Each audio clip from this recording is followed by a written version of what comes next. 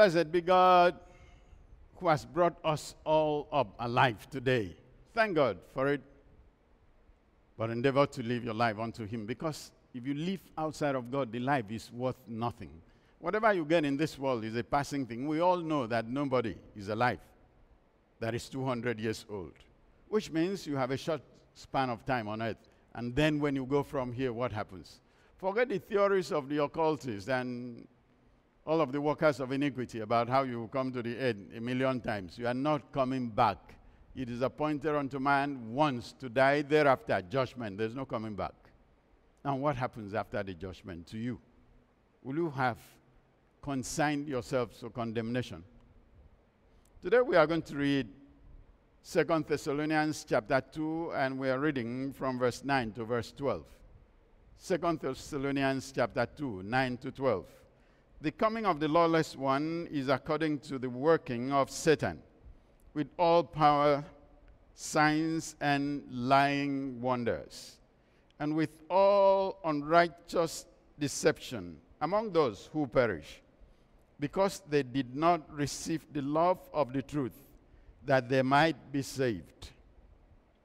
And for this reason, God will send them strong delusion that they should believe the lie that they all may be condemned who did not believe the truth but had pleasure in unrighteousness. This scripture is particularly important for those who say, Oh, God, choose some people to go to hell and choose the others to go to heaven. Lie. This scripture makes a lie of it. You know what he's saying? When you refuse to live in righteousness, you have made yourself a son of hell, a daughter of hell you have become a human being walking under condemnation already because you refuse to obey the truth of God. And there is a catch here.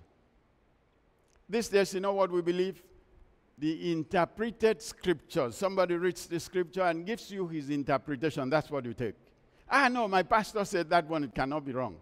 And you have all of these so called pastors who go around saying, You commit sin, no problem. Grace covers it. You do wrong, no problem. The righteousness from heaven has covered you. What? The other man commits sin, goes to hell. I commit sin, I don't go to hell simply because I tell myself I'm in church and there is some righteousness from heaven that sets me free. There's some madness to it. Leave those interpreted trash. Follow the word of God as it is. I thank God Jesus didn't say, You'll be judged by the words of men. He said, You'll be judged by his own words, the scripture. Jesus is the word of God. Genesis to Revelation, that's Jesus.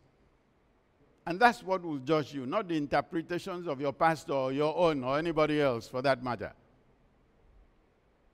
Have you chosen to believe the truth? And the truth says, Be ye righteous, be ye holy, even as I am holy. That's what God says. Living in sin, is that your definition of holiness? Because this thing is a choice. You choose to live in unrighteousness, you are condemned. You are heading for condemnation. And you know what it says in verse 11? God sends a delusion unto you so that you believe a lie. So when that pastor tells that crazy story, you believe. Why? Because you have tuned your mind not to follow righteousness. When your entire mind is focused on living in sin, ah, you will get those who tell you that sin is right. And once you are walking in that path, condemnation is totally over your life. There's almost no redemption for some people because they are so steeped in unrighteousness. I am not saying that people don't make mistakes. We all do make mistakes. As the scripture says, in many things we offend God. But it says, if you commit sin, we have an advocate with the Father, the righteous Jesus. If you confess your sin, why would you commit sin and say it means nothing? Instead of being remorseful, instead of being repentant, the broken spirit and the contrite heart, God does not reject. But which one is the broken spirit? The one that commits a sin and knows that it is a sin and falls back to God, pleading for mercy. Not the one that says, Oh, no, I have righteousness imputed unto me. Yes, there is righteousness imputed. Without that, no man will stand before God. But thereafter, he says, Show fruit worthy of repentance. What kind of fruit does your life show? Oh, okay. God sent delusion. That is why the people believe the lie. That's not true. It says the delusion is coming to you because, first of all, you don't want to develop the love for the truth of God. Is the love for the truth of God in you? Are you pursuing the truth of God in everything that you do? Learn to pursue the truth of God. Let this day be a day of thinking for you, serious thinking. Let this day bring a turnaround to your mind that everything you want to do, ask yourself, does this thing that I'm doing portray that I have the love of the truth of God? Is this the truth of God that I am establishing in what I am doing or saying? When you get to that point, you will check your activities. You will check the things you do. You draw lines. No, I don't want to pass this point. I have gone bad up to this point. That's where it ends. I am turning away from here. Let's get into that frame of mind, and it will be wonderful. Because there are two things condemnation and acceptance. If God is not condemning you, He accepts you.